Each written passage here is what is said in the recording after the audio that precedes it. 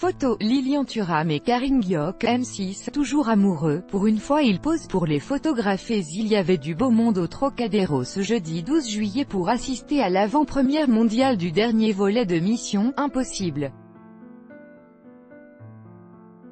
Parmi les nombreuses personnalités présentes, on peut noter celle de Lilian Thuram qui n'a pas hésité, pour une fois, à prendre la pose avec sa compagne, la journaliste Karine Gioc.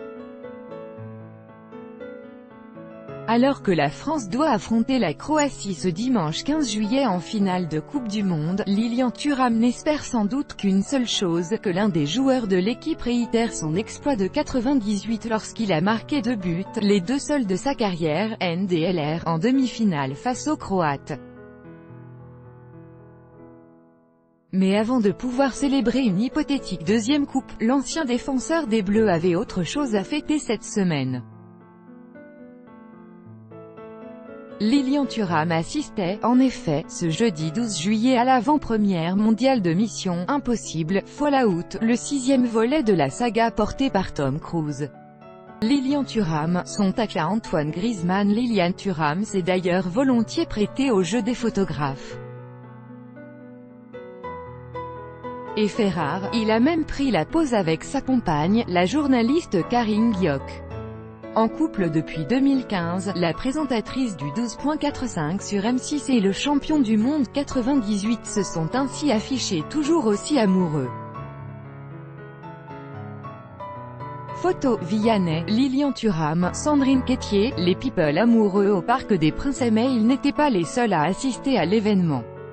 De nombreuses personnalités étaient en effet présentes. On pouvait ainsi noter la présence de plusieurs anciennes Miss France, comme Iris Mittener, Flora Coquerel ou encore Sonia Roland.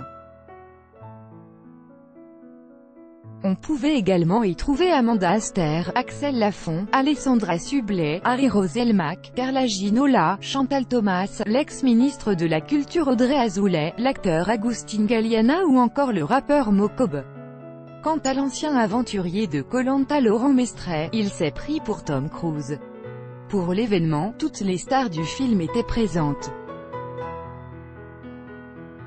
Tom Cruise, Rebecca Ferguson, Henri Cavill, Angela Bassett, Michel Monaghan, Simon Pegg et l'actrice française Alix Benezek, tous ont foulé le tapis rouge et signé des autographes sur le parvis du Trocadéro devant la Tour Eiffel. Tom Cruise accusé d'être à l'origine de la mort de deux pilotes d'avion lors d'un tournage crédit photo, Giancarlo Gorassini, Bestimage chaque jour soyez le premier à recevoir l'actualité gala dans votre boîte mail recevoir veuillez saisir un email valide.